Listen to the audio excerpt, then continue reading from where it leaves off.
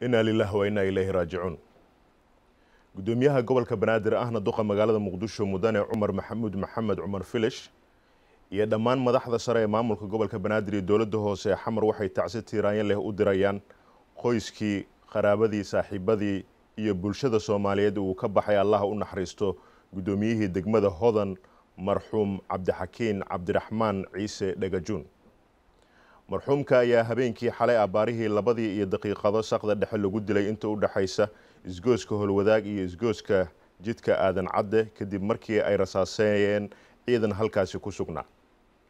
waxaana dhacdadaasi ku dhaawacmay laba askari oo ilaaladiisa ka mid ahaa kuwaasi oo eebba loogu baryayo inuu caafimaad deg degaa siiyo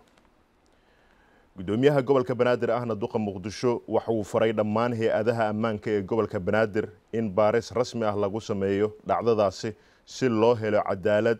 la iskulana xisaabtamo mas'uuliyadda. Dhacdadaasi uu ku geeriyooday allaha u naxariisto marxuum cabdixakiin cabdiraxmaan ciise dhagajuun